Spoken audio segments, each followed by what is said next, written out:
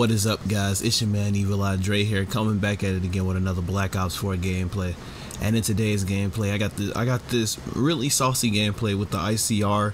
Um I just, you know, I, have been using different guns, trying to see, you know, what I find my flow with. My favorite guns in this game so far are the actual Vapor, the um, KN57. I use the Rampart here and there, but it's not my like go-to as much as it used to be anymore. I kind of swayed away from using it, even though it is a melt machine. And you know, you guys know how I feel about the Maddox, so I rarely use it. So really, just the KN Vapor, and um, yeah, pretty much those are the main two guns I use the most right now. But if you guys want to know what the class setup is that I'm using in this video, I'm using the ICR1, ICR7, whatever, whatever it's called in this game. I forgot but I'm using the Blinding Glory variant with, you know what I'm saying, uh, red dot. But my red dot is actually blue in this gameplay. I just thought I'd test out something different. It really don't make a difference. And I'm using, of course, double um, grip and quick draw. And my perks in this gameplay are going to be Scavenger, Gung Ho, and Dead Silence. Now, with now honestly, I'm, I'm gonna just straight up say it like it's, it's refreshing to use newer weapons in Call of Duty, but it always sucks because it's like in my opinion, I feel like Black Ops 4 needs new guns. You know, they're constantly readjusting the meta currently in their games, like constantly buffing and nerfing guns that really don't need it. Like recently, if you guys can recall, they actually just buffed the Rampart and the KN57 again. Now, the K, I feel like personally they just trying to make the KN57 the best gun in the game because if you really think about it, the KN44 was basically one of the best guns in Black Ops 3. It wasn't the best because, you know, it wasn't really used in competitive, but if you really think about it, it was the best overall gun in that game. Like, literally, it was so consistent. I feel like that's what they're trying to do with the KN57 in this game, but you know how stuff works. Um, another thing I will like to say is like uh, the Rampart to me just doesn't constantly need to be buffed.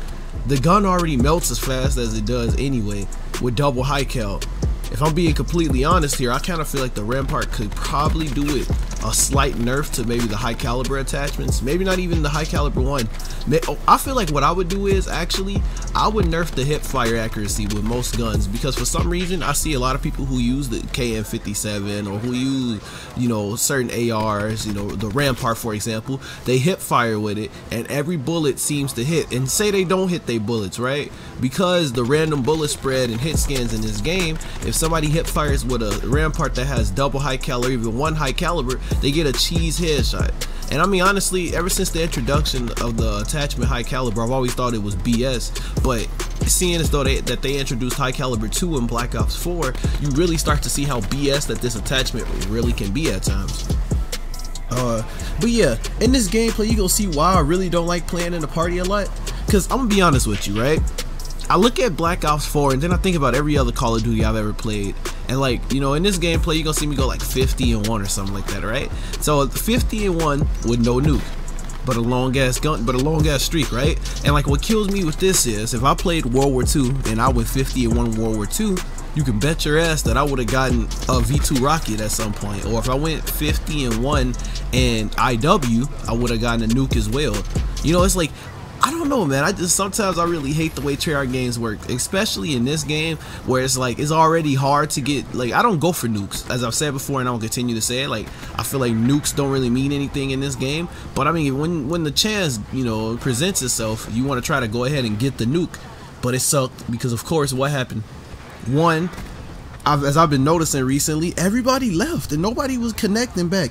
And when people did connect back, you know, as soon as I gunned them, they would leave again. And I mean, for the most part, I can kind of understand because I mean, would you want to stay in a game that you know you're const that you're constantly getting streaks rained in on you? You know, you got people calling it in threshers, snipers nest, strike teams. I get it. I get it completely. But my God, bro, you know, for, for what we was playing to be like one of the features. No, actually, was this? Yeah, this was like the featured game mode, I think. No, I think this is just regular hardpoint actually. But for this to be what is what it is, you know, it's crazy because you would think that damn, you know, any any game mode like hardpoint I get it because it's not that many people that play that. You expect to play against a bunch of sweaties. But like in this specific game mode that we playing which I, and I feel like this was endurance actually I feel like like you would think by this being a featured playlist that you would actually see multiple people coming in the lobby and like coming in and out because in most video games, especially Call of Duty games, if there's a featured game mode, that's what usually attracts more of a you know wider audience because more people. That's the first thing people see when they hop on and they click for a game mode. You know, that's like the first thing everybody sees, whether it's sweats, noobs, but I don't know, man. I feel like in this game, I don't either either this game has been like dwindling in its player base, or just you know not as many people are playing the featured game modes anymore. I feel like a lot of people have caught on to the fact that certain game modes have sweats like non-stop, and that's why they don't play it. For example, in an endurance playlist, unless you're playing in a five or six, don't even bother playing it. You're gonna join into a late game where your team is already getting clapped. Like honestly, it's just a, a waste of time at that point. Uh, like Infected is a decent game mode, but you know, another thing that's like I kind of wish Treyarch would just let go. You know what I'm saying? Infinity Ward and Sledgehammer can do Infected best, if I'm being honest here. And in my opinion, Infected is best done by the people who created it.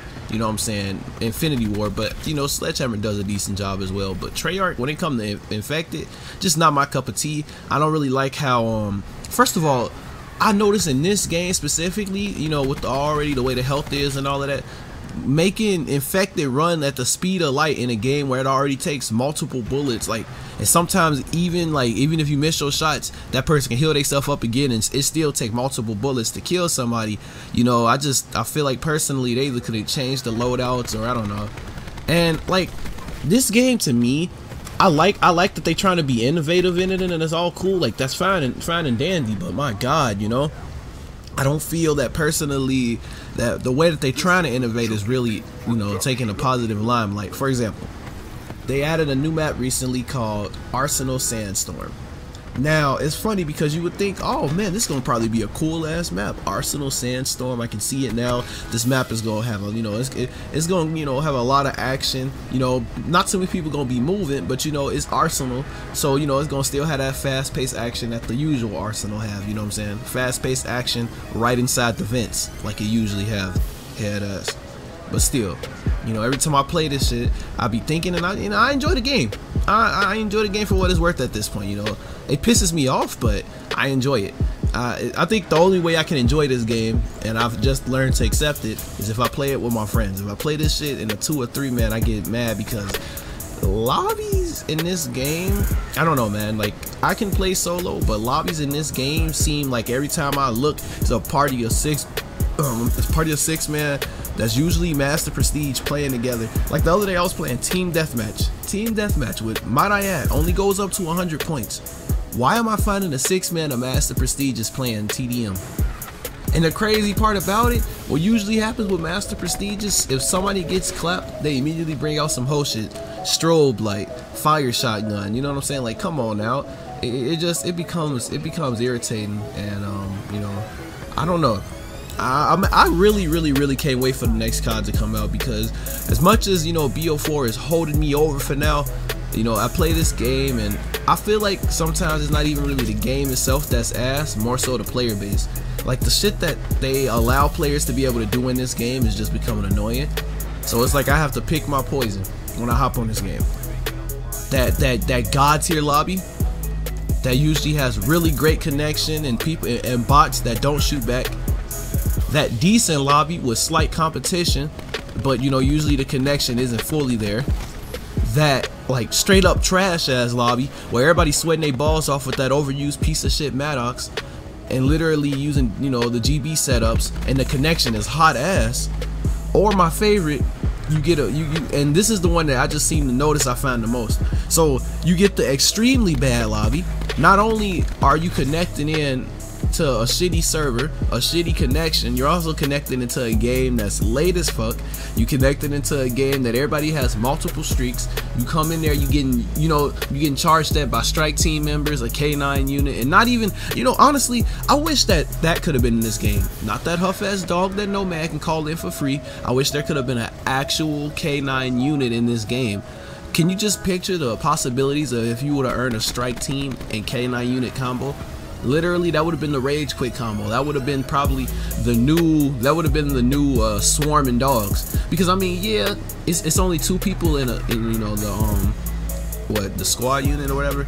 And I get that, and I get that. The strike team, I mean, but still, it's like, come on now. The strike team can easily get obliterated by like a um, gravity spike, or hell, even a war machine sometimes. Not a tempest though, and a purifier.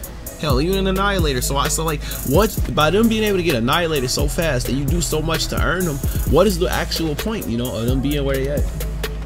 But yeah, you know, uh, this gameplay is almost coming to a close. You know, as always, everybody left and the game pretty much became a slow-paced piece of shit.